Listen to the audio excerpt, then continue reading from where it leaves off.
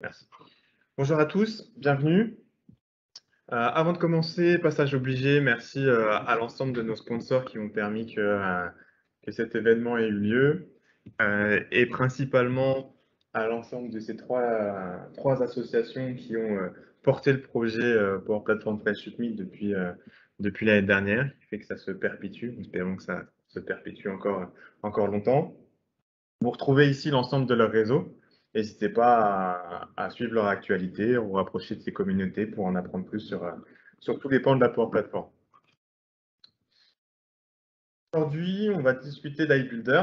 On va voir en fait euh, un, cas d'usage assez euh, un peu fun où on va se servir d'un formulaire papier et le transformer grâce à iBuilder et la Power Platform en des statistiques.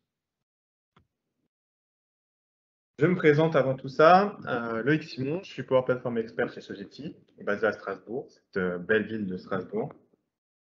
J'accompagne nos clients depuis maintenant euh, presque 3 ou 4 ans sur toutes leurs problématiques autour de la Power Platform, notamment sur tout ce qui est delivery, réalisation de projets avec, avec la Power Platform forcément, mais également tout ce qui est mise en place de la gouvernance pour s'assurer que la plateforme est configurée correctement, avec la bonne vision, avec les bonnes règles de sécurité, les, le bon niveau de formation pour les citoyens développeurs, tout ce qui tourne autour de, la gouvernance pour qu'on en tire le maximum de, bénéfices.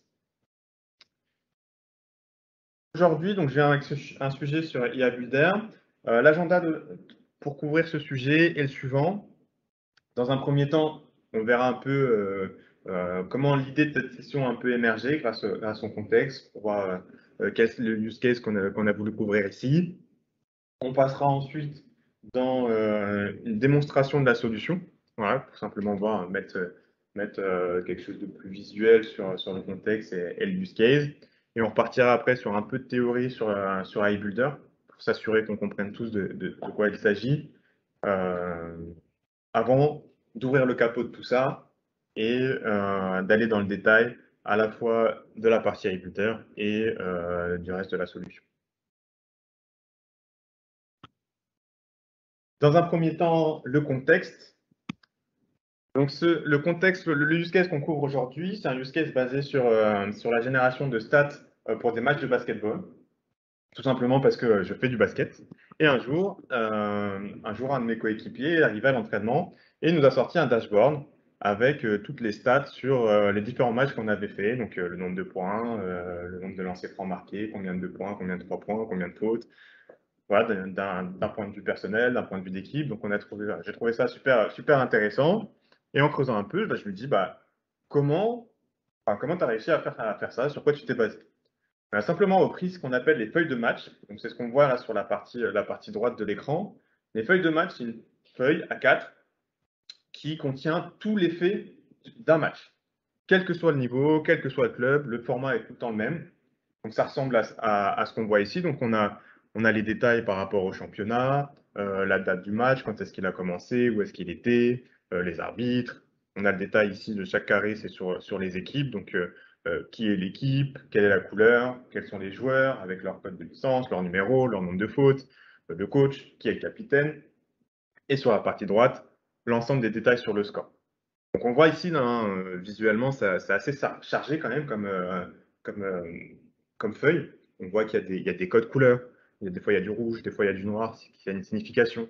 On a des cercles, on a des points, des, croix, des, chiffres qui sont barrés. Donc voilà, tout ça, en fait, fait que je me suis dit, tiens, il y a, y a peut-être un truc sympa à faire pour automatiser ça. Forcément, euh, lui, actuel, ce qu'il faisait avant, c'était bah, il prenait la feuille et il recopiait tout à la main dans un fichier Excel, euh, chaque détail, pour le faire, de mettre dans son outil. Moi, ça m'a fait penser à eBuilder. J'avais pas encore touché à eBuilder, je me suis dit, tiens, c'est l'occasion de voir un peu ce qu'il a dans le ventre, notamment parce que je me doutais qu'avec une feuille comme ça, euh, j'allais toucher quelques limites. Hein, parce que déjà, pour un humain, euh, il y a certaines parties qui sont assez compliquées à lire. Alors je me suis dit, bah, pour une machine, allons voir jusqu'où il peut aller. Donc je me suis lancé dans ce défi d'automatiser en fait la saisie d'effets de match grâce à eBuilder. Ce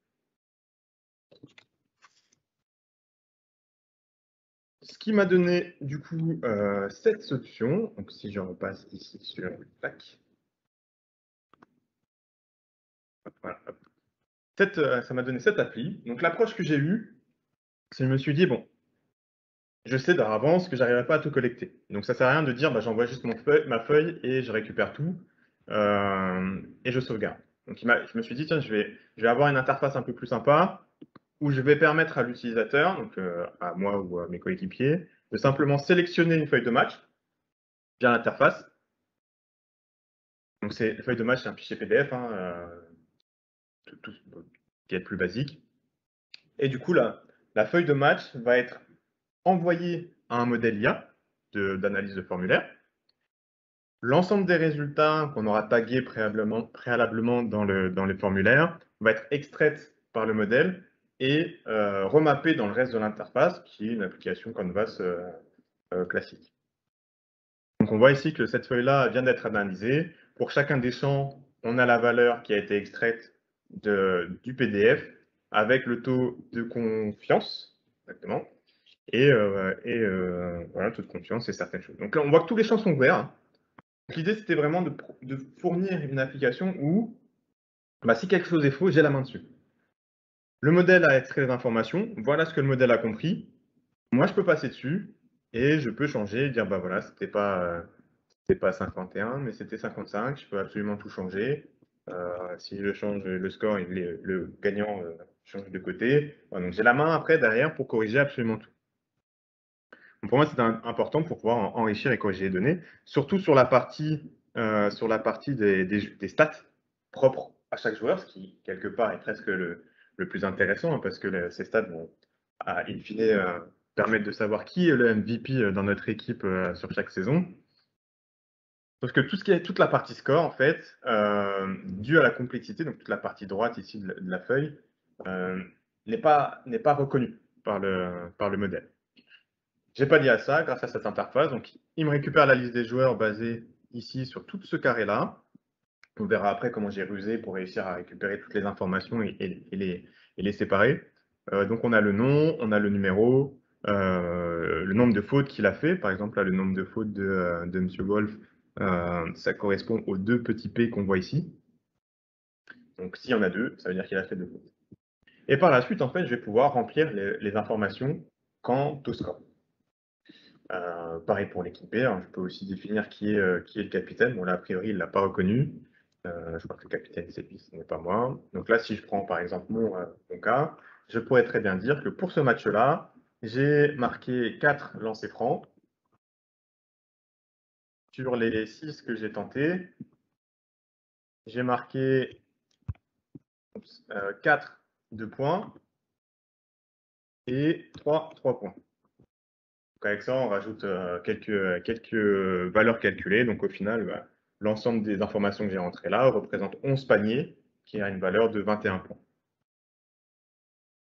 En faisant ça, bah, je peux du coup facilement le faire pour l'ensemble euh, des joueurs sur le match. Et une fois que je l'ai fait partout, je peux cliquer sur Save. Et à ce moment-là, en fait, l'ensemble des données corrigées et enrichies vont être sauvegardées dans le Dataverse. donc ici, j'ai euh, le Dataverse derrière qui va me permettre de stocker l'ensemble de mes données Ici, on voit qu'une nouvelle, euh, euh, entrée vient d'être réalisée. Et puis, bah, voilà, en cliquant dessus, bah, je, peux de nouveau éditer l'information. Lorsque j'édite, par contre, lorsque je suis en édition, je n'ai plus la feuille, parce que forcément, je ne la sauvegarde pas, en fait, je la sauvegarde pas avec le modèle. Je pourrais la retrouver avec le PDF, mais ici, ça me permet de revenir et de pouvoir corriger les, les informations si nécessaire.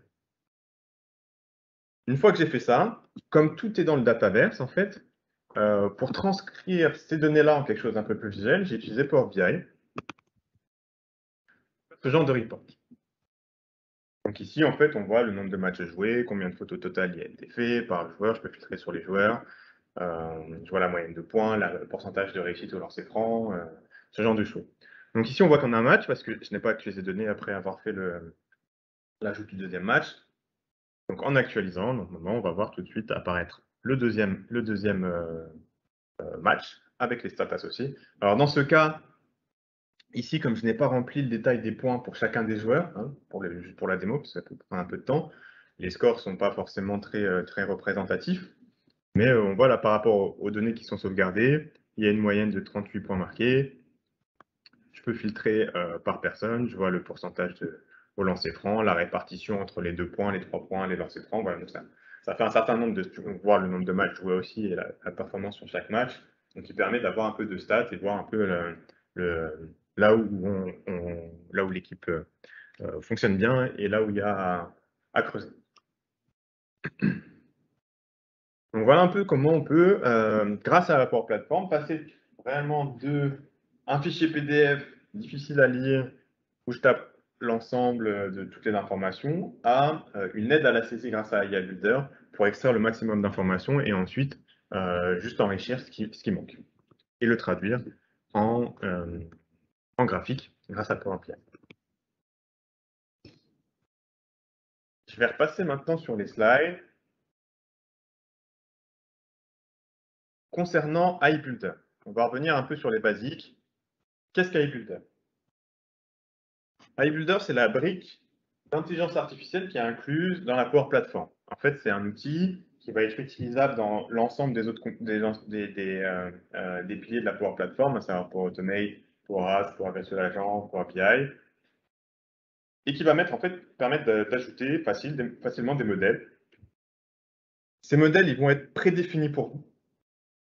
Donc, soit complètement euh, prêt à l'usage, out of the box, où j'ai juste à prendre mon modèle, dire bah voilà, je veux faire de la lecture de cartes euh, de cartes business, euh, je veux faire de la traduction, euh, de l'analyse de sentiments, ce genre de choses. C'est des modèles qui sont déjà clés en main. Je vais sur la plateforme, je dis que je veux ce modèle-là, je clique dessus, il est prêt à être utilisé.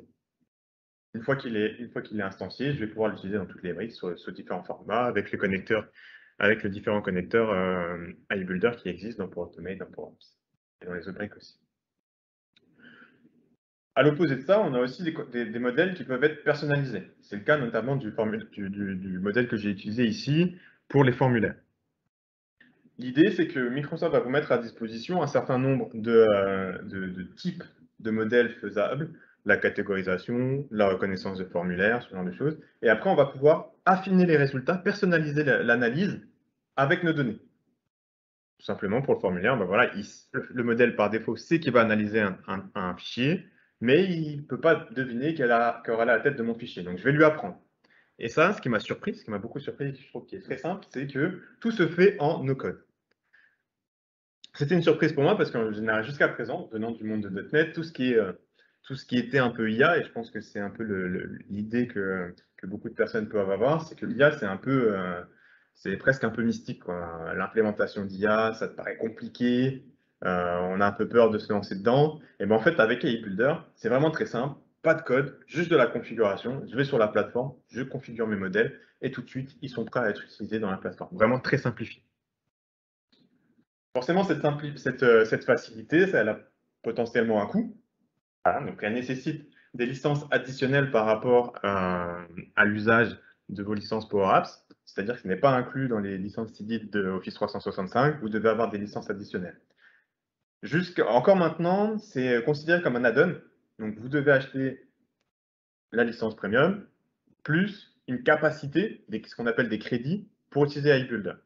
Il a été annoncé la, semaine d'avant, la semaine encore avant, à l'Ignite, que à partir de décembre, si je me rappelle bien, des crédits iBuilder seront inclus par défaut dans vos licences per apps et per user qui signifie que pour tester la Power Platform, en fait, enfin pour tester iBuilder, euh, avant on pouvait utiliser les trials. Là maintenant, à partir du moment où vous avez une licence premium, vous avez déjà un peu de crédit pour utiliser. Les pair ça va donner 250 euh, crédits et les pair user, ça donne 500 crédits euh, par, par licence, si, je me rappelle bien des chiffres. Ce qui est plutôt sympa pour débloquer un peu certains cas d'usage. Je reviens sur les types de modèles. Donc, on a, ici, hein, euh, je vous disais, la partie du haut, c'est tous les modèles qu'il faut personnaliser.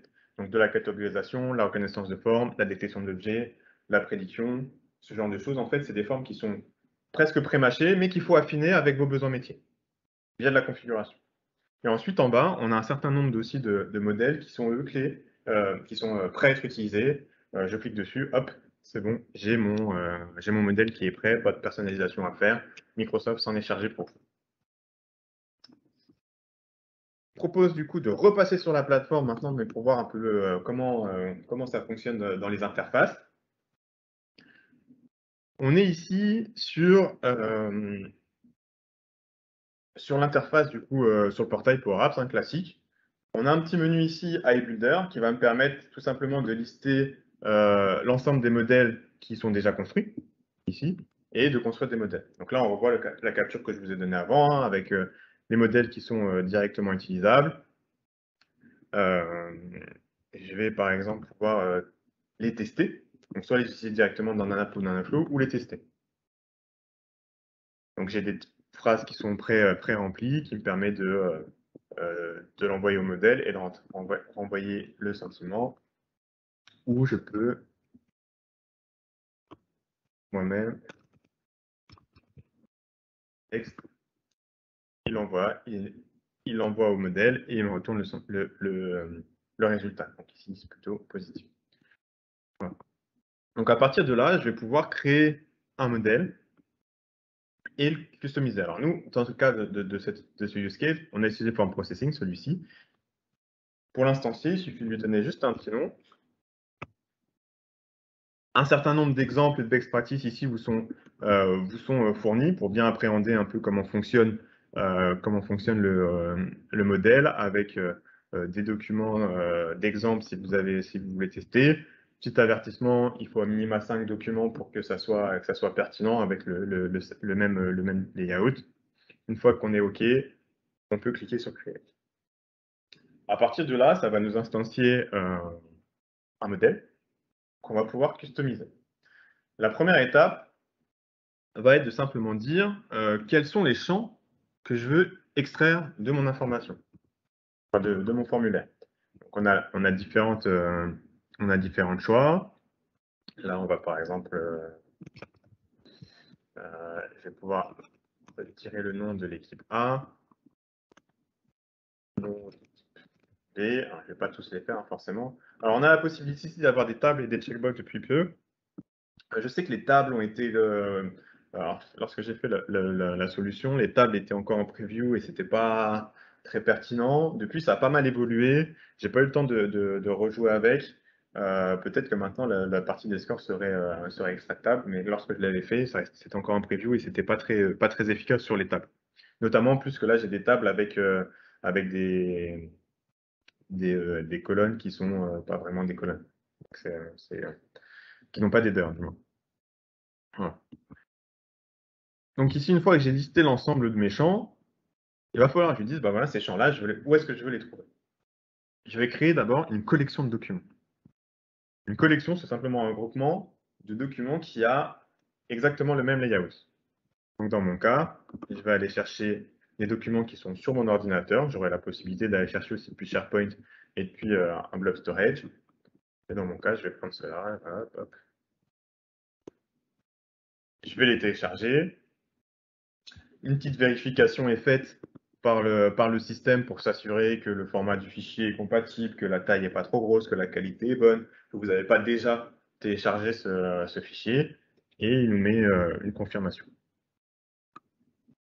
L'intérêt des collections ici, c'est que on pourrait créer une collection par, euh, layout qu'on a dans notre solution, qu'on a analysé. Imaginons qu'on a un, fichier qui a plusieurs pages, chaque page a un layout, et ben je pourrais dire bah, dans la collection 1, je mets tous ceux de la première page, dans la collection 2, je mets tous ceux de la, deuxième page.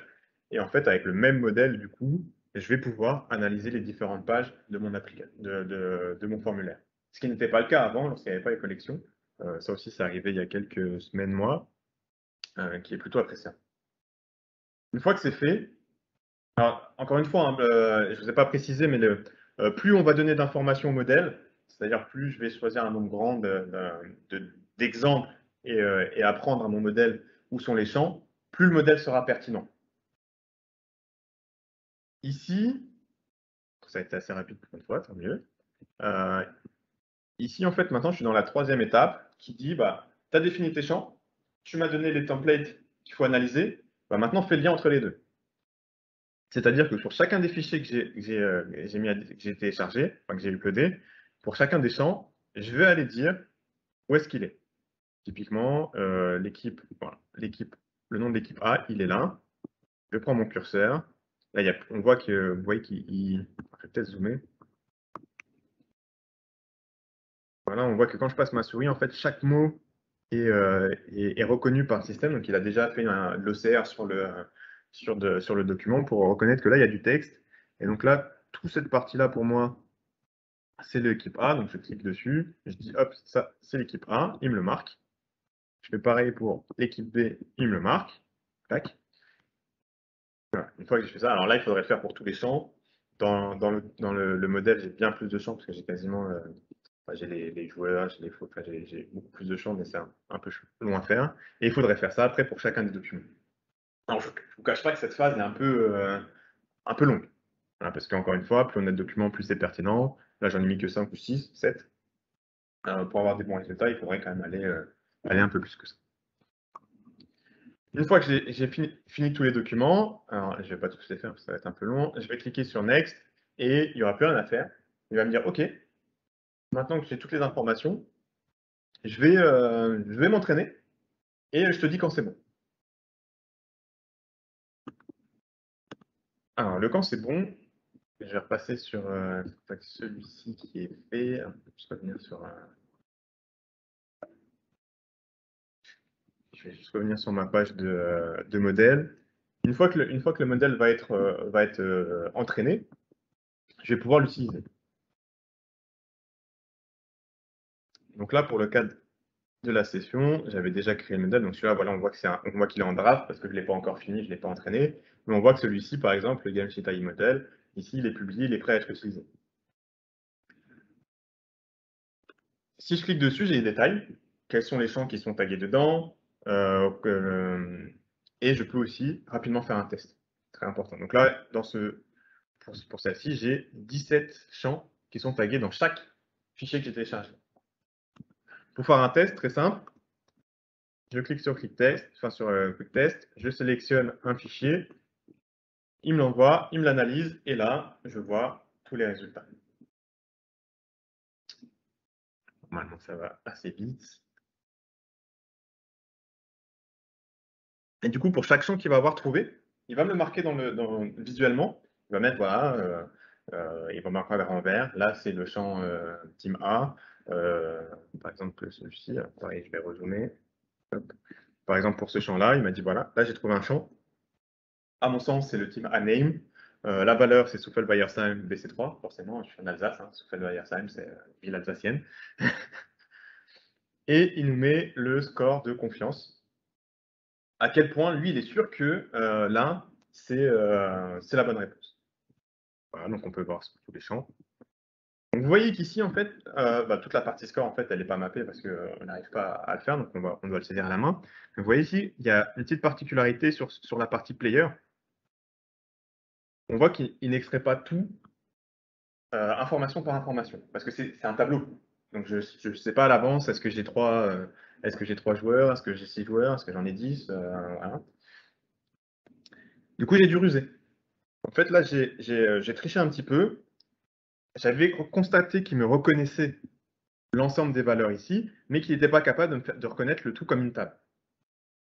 Donc j'ai réussi, je me suis dit, bah, ok, tu reconnais tout comme du texte, moi je sais qu'il y a un pattern, ok Donc j'extrais toute cette partie-là comme une chaîne de caractère, comme on le voit à l'écran, c'est pour, euh, pour le système, il dit, bah voilà, moi tu as un champ texte qui contient tout ça. Et ce que je vais faire en fait, c'est qu'après, après, l'analyse, côté Power Apps, je vais appliquer des regex qui va simplement me splitter cette, euh, cette chaîne de caractères en mon, en mon, modèle de données. Donc je vais récupérer le nom, je vais récupérer le numéro, euh, le nombre de fautes, parce que là on voit que le nombre de fautes, voilà, on a P2, P2, alors les fautes c'est P, P1, P2, U, en fonction du type de faute. Mais à partir du moment où, avec la regex, j'ai euh, une def, je, je considère comme une faute. Et je peux calculer le nombre de fautes. Et ainsi de suite, je vais pouvoir savoir qui est le capitaine. Pareil pour l'équipe B.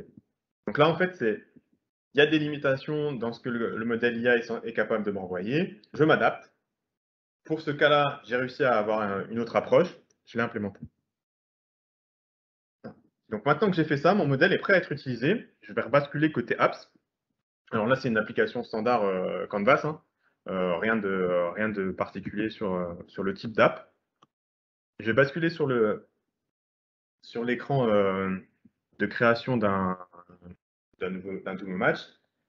Pour utiliser pour utiliser le, le, modèle IA, il y a des composants qui sont prédéfinis, out of the box ici, iBuilder.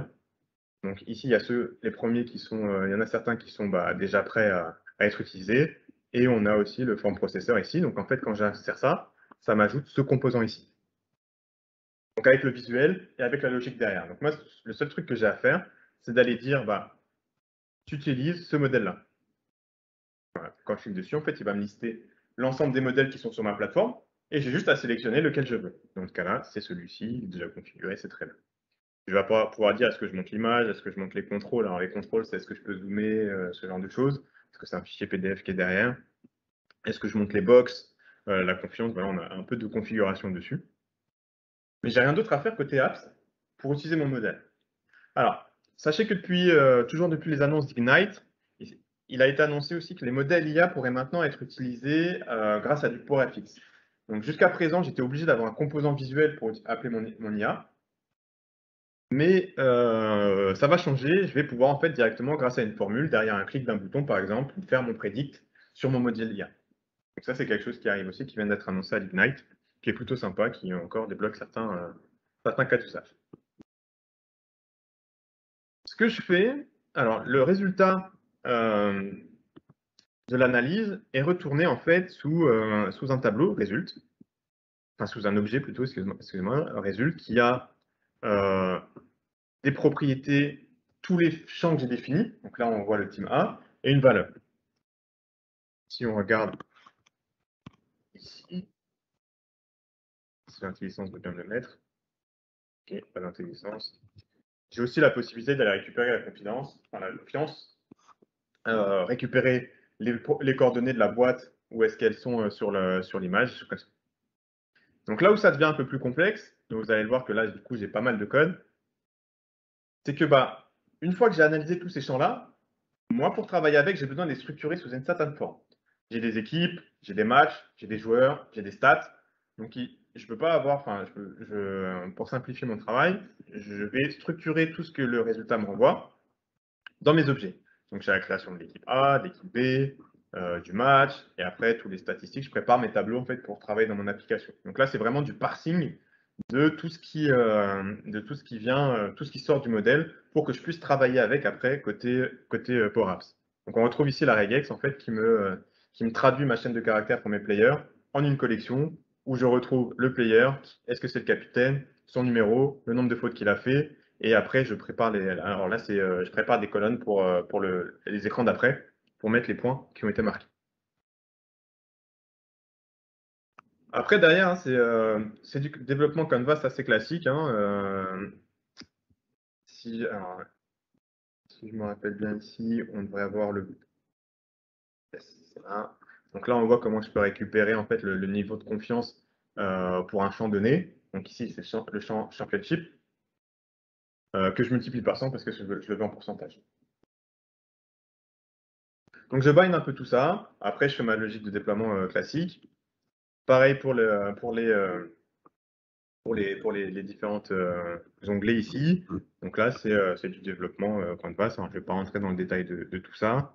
Et une fois qu'on a fait, une fois a fait nos, nos, modifications, on va sauvegarder le tout, le tout. Donc là, pareil, il y a toujours un peu de code hein, parce que bah, beaucoup de choses. Hein. On va enregistrer un record pour chaque player parce que c'est leurs statistiques qui sont propres, qui sont rattachées à une équipe. Donc il faut voir est-ce que l'équipe elle existe déjà, parce que est-ce que je l'ai déjà euh, inséré ou pas. Euh, donc il y a de l'insert update euh, pour les équipes, pareil pour au niveau des matchs. Il y a un découpage de, modèles derrière qui est un peu qui fait qu'il y a un peu de code aussi là pour, pour, pour faire la sauvegarde. En fait, tout ça, ça va être sauvegardé dans des tables Dataverse table que j'ai ici. Donc modèle de données hein, qui n'est est pas assez compliqué que ça. Hein. J'ai un match. Euh, le match, il est composé d'équipes. Les équipes sont composées de players et chaque player a un certain nombre de statistiques pour un match donné. Donc on le retrouve avec ce modèle, avec ce modèle de données. Donc là, c'est des tables dataverse classiques. Donc là, on voit si je dans les données, on retrouve mes deux matchs avec l'information, toutes les colonnes que j'ai, la, catégorie, le championships, où est-ce qu'il a été, euh, quand est-ce que le match a fini, le score final. Donc là, tout est sauvegardé dans, euh, dans, le, dans le database. Et une fois que c'est fait, je vais pouvoir aller sur mon sur mon Power BI Et en fait, pour mon, mon Power BI, j'ai simplement la possibilité ici directement de saisir des données depuis euh, le Dataverse. Pour ça, j'ai juste à donner euh, l'endpoint de mon, de, mon, de mon environnement. Donc là, c'est l'URL que vous trouvez dans le portail admin sur votre environnement, qui est euh, org 3647.dynamics. quelque chose. C'est souvent des, choses comme ça. Vous mettez dedans, il va vous lister l'ensemble des tables. Et là, en fait, vous n'avez plus qu'à à. Bon, on les voit ici, hein, toutes les tables. On peut les voir ici, ici dans le ici et faire vos transformations comme vous voulez après euh, côté Power BI et faire les graphiques que vous avez besoin. Voilà pour la démonstration de enfin, le, côté implémentation. Je ne vais pas rentrer plus dans le détail parce qu'après on, partirait plus sur avec du développement Canvas plus que, que la partie iBuilder pour BI. Donc en conclusion,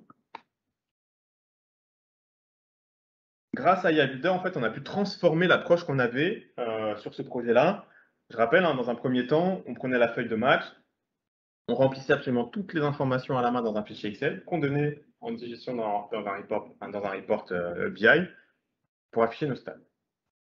Là, grâce à eBuilder, en fait, on a pu alléger cette phase de saisie, de recopie des données en pré-mâchant le travail le plus possible en fonction des capacités du modèle euh, pour l'utilisateur. Donc, l'utilisateur va encore une fois donner la feuille de match. Le modèle va extraire l'ensemble euh, des valeurs, pré-populer les, euh, les, différents champs et l'utilisateur n'aura plus qu'à corriger ou enrichir ce qui manque avant de sauvegarder le tout dans Database.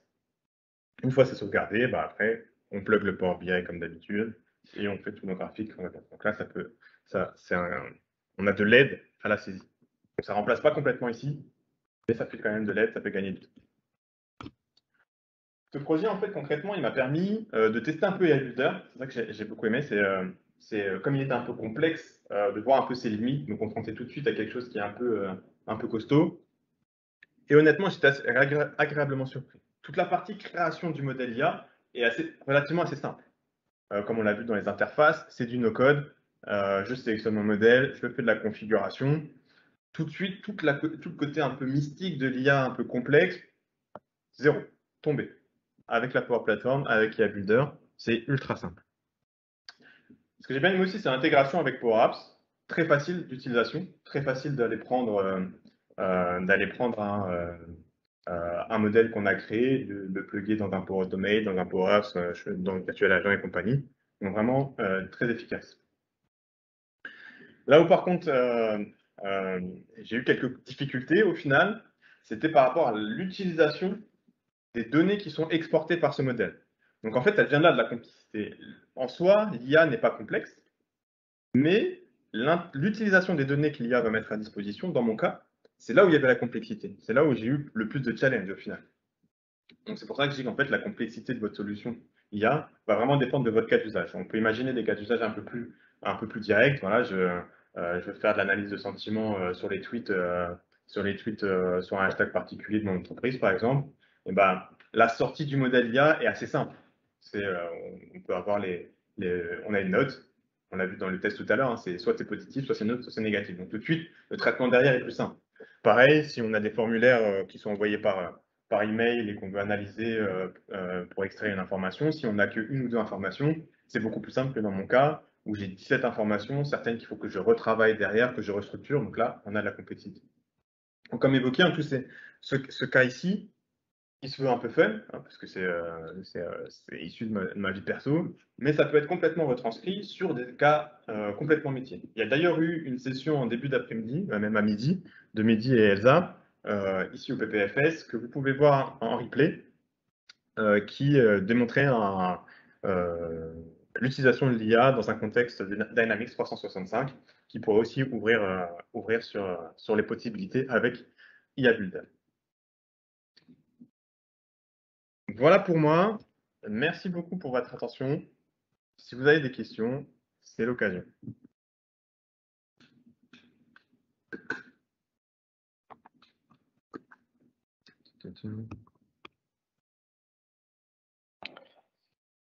Merci Loïc. N'hésitez pas à poser vos questions. Ben, il se fait tard, hein, c'est la dernière, dernière session avant la keynote. C'est vrai que c'est la dernière session avant la keynote, mais n'hésitez pas, il y a toujours des, pas à poser de questions, sinon vous pouvez rentrer en contact avec Loïc directement, sans problème. Et revoir en replay euh, ces sessions et d'autres, si besoin.